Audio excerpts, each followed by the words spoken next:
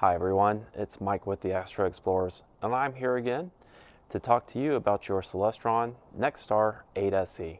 Now I know in the last video I said I was going to talk to you about aligning your telescope with the stars using a Wi-Fi dongle as well as using your laptop. But since the release of my last video, some people have brought to my attention another good way to align your telescope. And with that, what another recommendation was is to actually use the sky align functionality from your handheld controller. So what I want to do tonight is go ahead and go over that information on how to use it and see if it's any easier than using the two-star auto alignment. So stick around, I'll show you how to use the SkyAlign and then we can discuss if it's better or worse than the two-star auto align. All right, so one of the benefits they brought up was when using just sky align, you don't actually have to pick which stars you're trying to find to begin with. What you can do is actually just point to three different stars in the night sky that are nice, bright, and visible. So tonight, I do have clear skies. We do have a couple stars out, including, it looks like Mars, Jupiter, and Saturn.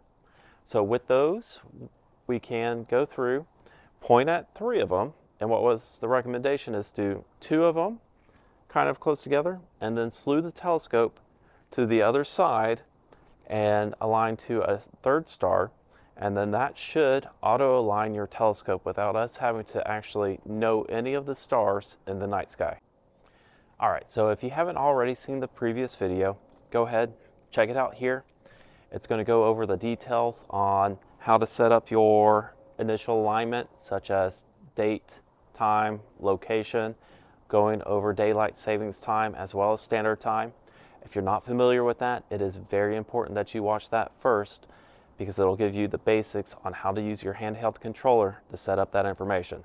So I'm not going to repeat it in this video, but go ahead, check it out, and it'll have that information for you. And then I'll go ahead and show you SkyAlign using three bright objects in the night sky.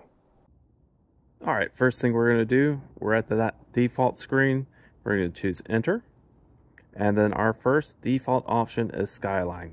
So after we choose SkyAlign, it's going to go ahead and take us to those options to set up our date, location, time, etc.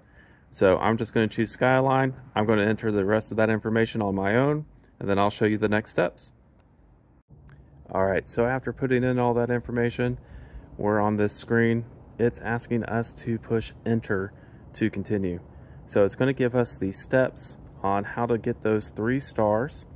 And what we'll do is we'll go ahead and push enter and follow the prompts along. And I'll show you what to do next. Okay, so first it's asking us to center on object one. So I'm going to slew the telescope over to object one in the finder scope once I have that in the finder scope, I'm going to push enter and that's going to give us the option to center it in our eyepiece. All right, so I have the uh, object in the night sky centered on my finder scope. I'm going to go ahead and push enter. And then after I push enter, what it's asking me to do is use the directional buttons to center the object in my eyepiece. So I'm going to do that. I actually have Mars as my first object. And then after I have it centered in the eyepiece, what I'm gonna do is push align. So let me go ahead and do that. I'll give you the next step. All right, so now that I have Mars aligned by using the align key, it's asking me to find a second object. So I've got a couple bright stars over by Mars. It's gonna ask me to center the object in the finder scope, and it's saying press enter when ready. So I'm gonna push enter, then I'm going to use my directional buttons to align the finder scope on the star. And then after that's done, I'm going to center the object in the eyepiece and hit align.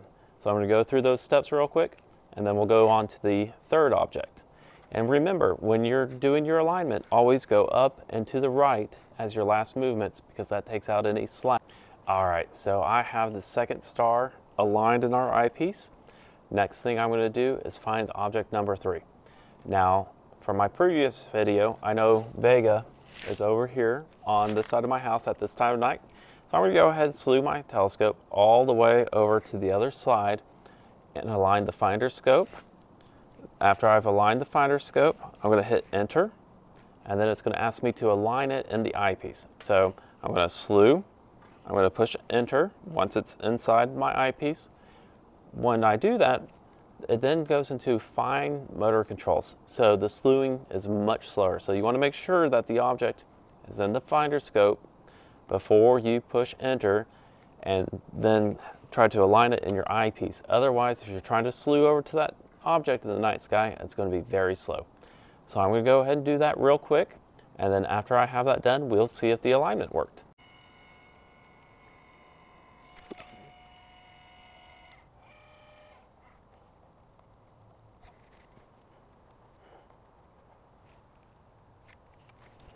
Okay, I just wanted to take a quick pause. Thank you for watching my videos. I am going to be coming out with many more of these, so if you're enjoying them, please subscribe. I'm going to go over many more details on aligning the telescope, upgrades, uh, best way to do power for your telescope. That was one of the issues I ran into while recording this video. I had issues with the batteries running out. So I'm going to do videos on how to power your telescope and much, much more. So if you're enjoying them, please subscribe and I'll get back to the tutorial on this one. All right, so I went ahead, aligned to Vega. It went through its process and it said matches found and that we were aligned. Now it's telling me I can hit back to view matched objects. I'm going to do that.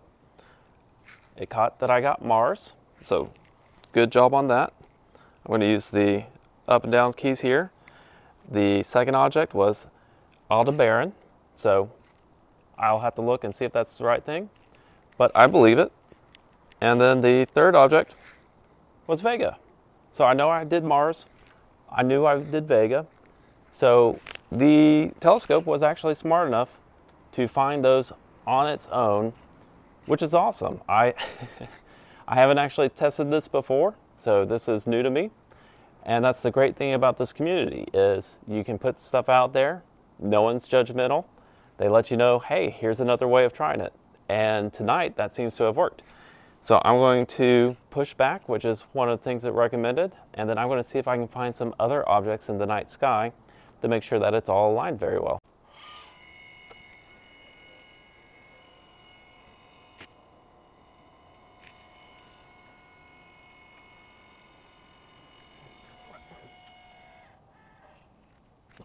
Nice. All right, so it does look like we're aligned. We just went from Vega all the way over to Mars. We're in the finder scope and we're in the eyepiece. So we did a great job of aligning the telescope. It works. Um, I'm actually gonna say this is a much easier way of aligning. You don't have to do two-star alignment, knowing which objects to slew your telescope to. You just pick three objects in the night sky. You pick two on one side, slew the telescope over to the other side, pick that. It does all the smart work for you. And at the end of the day, that's why we got this. So if you watch my first video, great. That tells you how to use this. But I would say this is probably the method I would do if I'm going with the Celestron NexStar handheld controller in order to use its go-to functionality. Now, if you have other preferences or other tips and tricks, please leave them in the comments section. Otherwise, thank you very much for watching this video and clear skies. Would you take a look at that Saturn? So cool. And I caught it before it went down behind the horizon line and behind my house.